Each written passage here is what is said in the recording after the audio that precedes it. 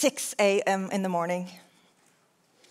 I have this alarm clock, and it has this cute bling blong sound that wakes me up. And even before I wake up, open my eyes, I can feel this burst of energy inside of me, this anticipation for the day ahead. So I jump out of bed and I go into my daughter and I give her a kiss on the cheek, say good morning. I go downstairs, I put on the coffee machine, I grab my iPhone and I check the emails that came in over the night and uh, the Twitter account while I'm sitting on the toilet. there, I said it. I read emails and I check my Twitter account while I sit on the toilet. How many of you do that? Hands up. Hands up. And you know what? If you don't put your hands up, I don't believe you. Because when I was starting to explain to a friend, you know, this is what I do, and I'm just really pumped up. I can't wait to get my day started. So I just grab it and just like, what happened since I went to bed kind of attitude. And I said, and this is so embarrassing. I don't know if I can say it out loud, even to you, and she's a close friend. But I do this. It's not like, that's so embarrassing. And she's like, oh my God, I do that too. And then I thought, okay, I'm going to go around and ask everyone. It turned out everyone I talked to do that. So if you didn't put up your hand, this is us keeping connected, but it's also about us being engaged in something, even at six o'clock in the morning.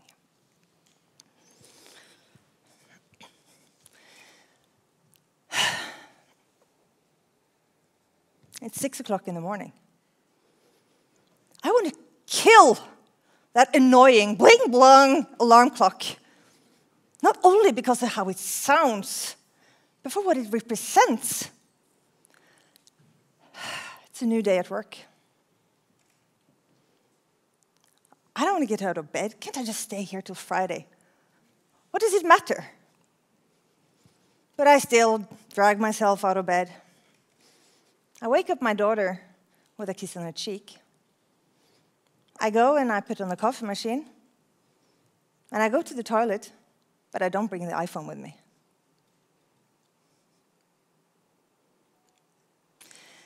How do you feel in the morning? Which one of these two scenarios are most familiar to you? Do you wake up with this feeling, hey, world, here I come? Do you wake up with this feeling, ah, can the day be over?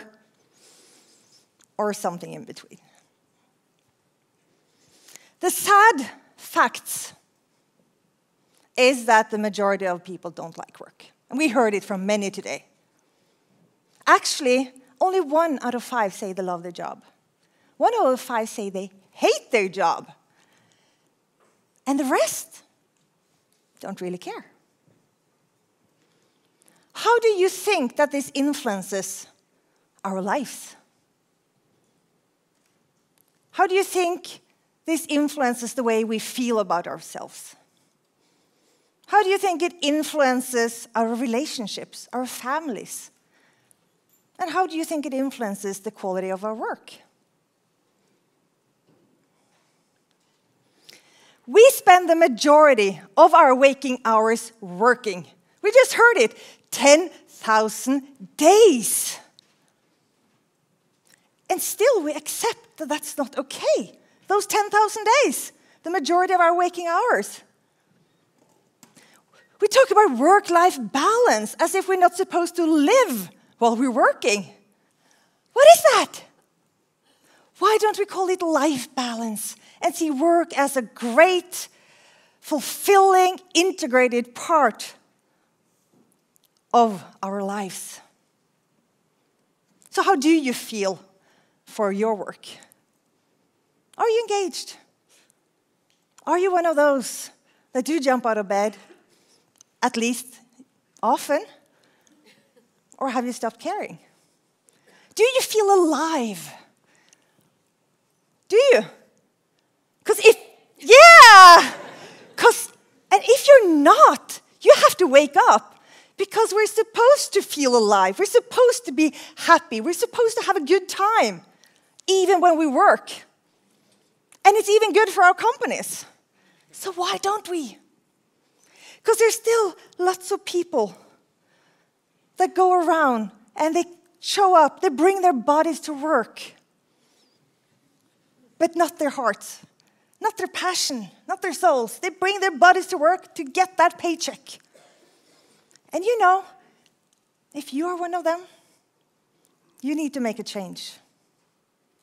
You need to make a change in your life because you have accepted nothing but a slow, premature death. And I know what I'm talking about because I was nearly there. I want to tell you a story. It's about passion. It is about losing passion. And it's about getting passion back again by being a corporate rebel. This is my story. I used to work for a Norwegian IT company called Tandberg. We were a bunch of passionate entrepreneurial souls on a quest to change the world with our technology. And my job was to look after the corporate culture, what I call the corporate soul. In 2010, we were acquired by Cisco, global IT company of 60,000 people, and we were 1,700 people. So when this happened, and afterwards, I often have got that question what was that like? How did, how did that feel to be acquired? And I usually tell it was like, actually, it was like the love of my life, my boyfriend, broke up with me. And not only did he break up with me, but he even said, Hey, and I got your a new boyfriend here. An American boyfriend. And he's big and he's rich, big muscles. Now you can be with him. I was heartbroken. I was devastated. I, I still loved my old boyfriend, and now I should be with this other one. But it was over, the other, and I just needed to learn to know this new one. Was that someone I would like? Is this someone I could, could enjoy being with? Is that someone I could love and that could love me back? But I decided to give the relationship a chance. So the first thing I did was to go out and get to learn, to get to, get to know this new boyfriend or company um, and its culture. What was it? What was the soul of the company? So I talked to lots and lots of people, hundreds of people. What is it? Tell me. Help me understand. And there was lots of different ways of describing it, but almost everyone, when they heard where I came from, they were like, oh, yeah, I know, you know. Oh, Cisco, we used to be like this too. We used to have all this passionate energy and fun and stuff. But then we grew and we became big and we became a multi billion global co company. And it kind of, you know, we forgot about it on the way. But we still like it, but it's not really what we focus on creating now. And I heard this so many times before, and I, I hadn't worked in a big company before, so I didn't actually know what that was like. But I heard others say that, oh, it's okay when you're a small company, you can have all this craziness, entrepreneurial spirit and stuff, but the moment you get big, you need to be really serious. But this wasn't like really serious people. This was like passionate, fun loving, happy people. But of some reason, they thought that, well, we work in this big corporation, so we need to be really serious now. And I thought, what a shame. Because that people can't be themselves and they have to pretend something they are not. So after this interview, I came up with an idea. What if we just change people's mindsets about who they work for? Because the fact was, people think about this big corporation and, and almost like it's like working for a machine. I say, well, just let's leave that machine and move into another picture. A picture where we are lots of people coming together to create something amazing, like changing the world with technology. And we can work for like a mega tribe. And we can be all these little small tribes, and we're passionate, and we have our little subculture. We just get stuff done, and we can, we can have fun, we can be energetic, we can be entrepreneurial within our tribes.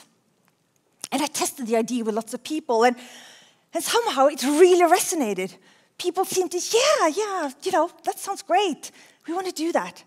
So I was all pumped up, and I just, wow, I'm going to go out and I'm going to change how everyone feel about the company they work for. Everything's going to be fantastic. And I got all this passion back, and it was wonderful. And I really thought I could make a difference through my idea. But then I learned that when you work in a big corporation, the time from an idea to actually making it happen can be very long. And it can be very complicated. And it's not even sure that you come to the place that you do get everything in place to get that permission that you need to have on the other side in order to be able to move forward. So I tried and I, I went around and I, I tested, and it took time. And I have to tell you this patience is not one of my virtues. Oh, you can tell already since you're laughing. to get so frustrating. And I tried and I tried. And it was like walking around in a labyrinth. And I didn't know where to go and how to get this done. And then one day someone came over to me, a well intended colleague, and said, Annicken, you know, I see what you're trying to do.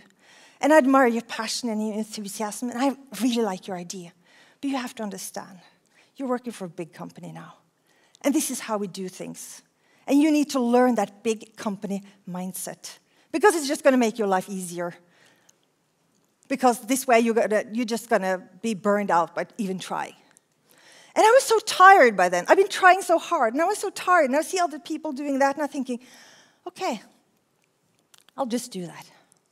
Maybe this was just a stupid idea. Here I come, little Annicken from little Norway, and thinking she can change the way of a big corporation. Who did I think I was? So I kind of settled.